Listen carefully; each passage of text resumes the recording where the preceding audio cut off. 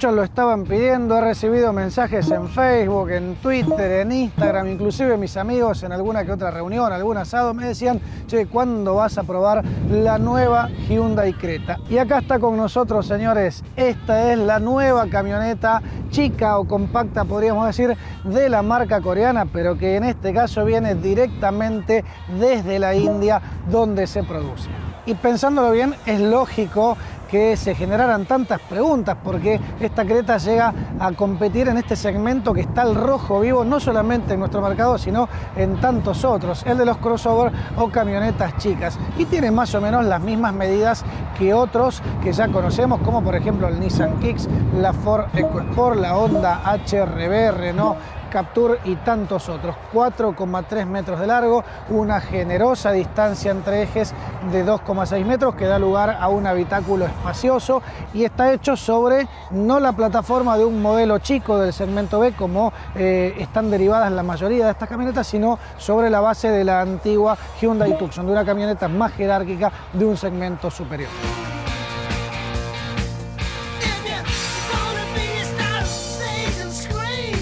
Y arranco por el diseño. Diseño que es bastante sencillo. La Creta es discreta. Muy malo, ¿no? Malísimo. Pero bueno, es una camioneta, en serio, discreta, con líneas sencillas, como te digo, y raras, porque tiene estos cortes acá angulosos en el perfil, es como que fuera un poquito pesada la vista, ¿no? Así que, si bien es agradable, me parece que a nivel de diseño de estilo se quedó ahí un poquito a mitad de camino.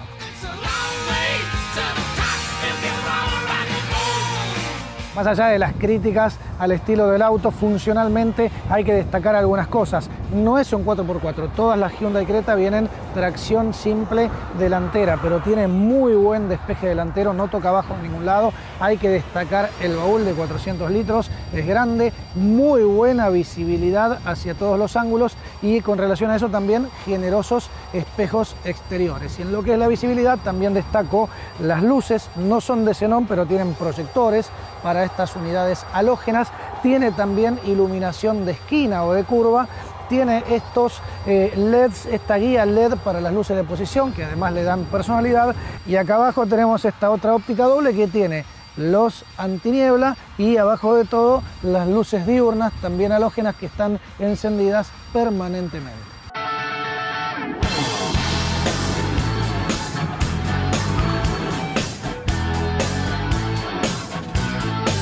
Si bien en otros mercados la oferta de motores de la Creta es más amplia porque incluso se ofrece con opciones diésel, el único motor disponible en la Argentina es este Naftero 1.6 de 16 válvulas, un motor convencional que ha dado muestras de una gran confiabilidad en otros mercados, montado sobre diversos modelos de Hyundai y que tiene en este caso 123 caballos a 6.400 vueltas una potencia acorde, un motor 1.6 sin turbo, pero que bueno, la deja a la Creta en un plano medio flojito frente a otros rivales de este segmento.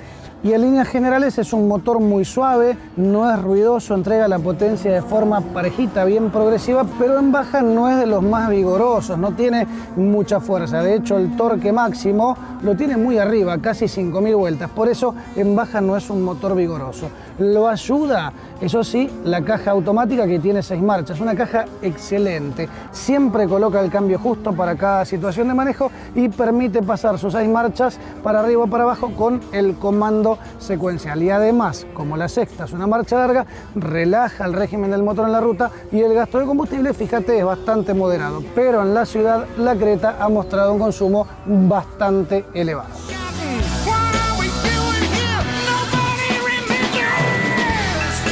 Todo listo, estamos en la pista. Voy a poner Start le voy a sacar el control de tracción a esta creta porque tiene control de tracción y estabilidad de serie. Caja en modo automático, pedal de freno, acelerador y vamos.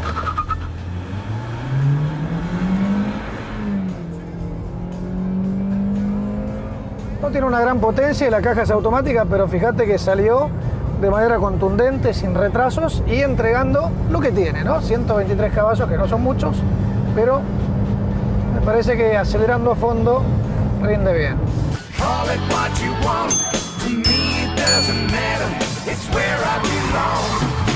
Te cuento que la aceleración, el mejor tiempo que obtuvimos fue de 11,6 segundos, que no está mal para esta relación de potencia peso y caja automática, pero que bueno, queda un poquitito por debajo de algunos rivales de este segmento con algunos caballos más, ¿no? Que rondan entre 140 145 caballos. De todas maneras, para el uso familiar está bien y lo bueno es que la caja reacciona bien desde el inicio de la aceleración. No hay demoras, no hay retrasos, no hay dudas, o sea que en definitiva nos propone sin grandes prestaciones una marcha bastante ágil.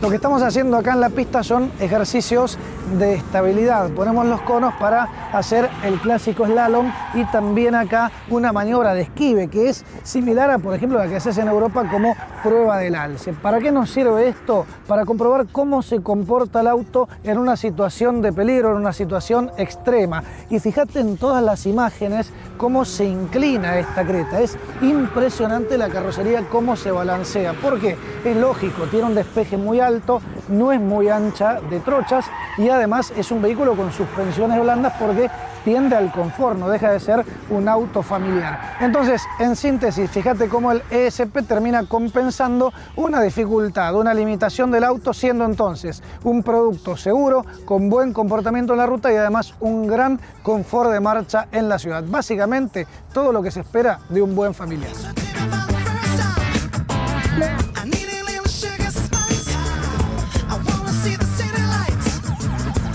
Acá dentro el estilo tiene que ver con la carrocería en lo simple que son las líneas, ¿no?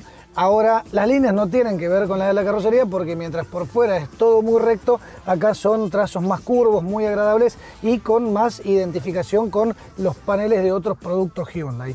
Todo tiene materiales sencillos, no hay insectados blandos, pero está bien ajustado, está bien terminado y es impecable la insonorización general. Se escucha poco el motor, no transmite ruidos la suspensión, mm, tampoco el ruido de rodamiento contra el pavimento, así que en ese sentido es impecable y es cómoda con buena posición de manejo, a pesar de que el volante solo se regula en altura y se destaca un excepcional espacio trasero, al menos para dos ocupantes. Muy cómoda también la postura de viaje en el asiento de atrás. Ahora estoy como en un auto de alta gama, que no se puede creer lo cómodo que es. Eh, uh, pero pará, pará, pará, pará, pará. ¿Qué es esto? ¿Qué es esto, Hyundai? Cinturón abdominal, no, pará. Tenemos cinco apoyacabezas, tenemos control de estabilidad, tenemos ganchos Isofix para sillas infantiles y el quinto cinturón es fijo abdominal. No, Hyundai, no, no, no, no. Acá te equivocaste, te lo tengo que decir. Es muy segura la creta, pero esto no va.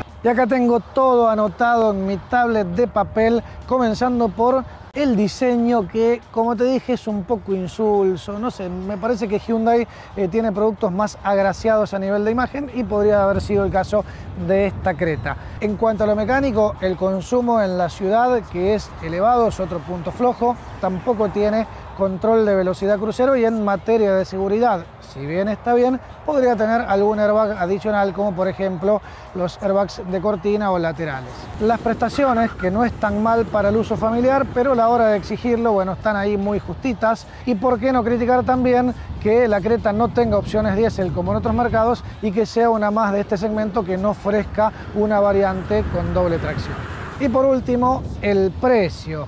31 mil dólares es lo que cuesta esta Hyundai Creta automática, 1.500 dólares más que la manual. Creo que es una diferencia módica para esta caja automática que funciona muy pero muy bien, vale la pena, pero claro, es cara. Tengamos en cuenta también a favor de Hyundai que es un producto importado de afuera, viene de la India, paga el 35% de arancel e incluso si tuviera más equipamiento ya empezaría a pagar los impuestos internos que dispararían aún más este valor.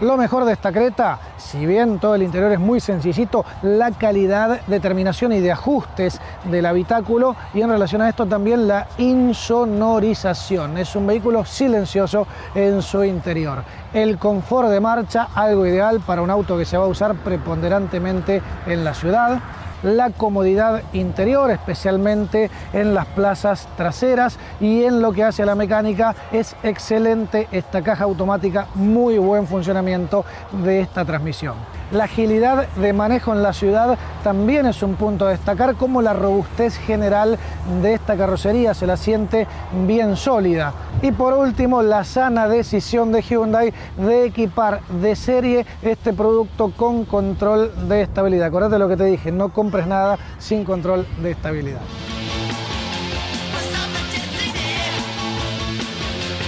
Como conclusión, esta Creta me gustó especialmente como vehículo familiar. Quizá hay que resignar un poquito de potencia, un poquito de equipamiento y pagar algún dólar más por ella. Pero basándome en las buenas experiencias que todo el mundo ha tenido con Tucson y con otros productos Hyundai, me parece que va a ser confiable y es por eso que yo le meto una fichita.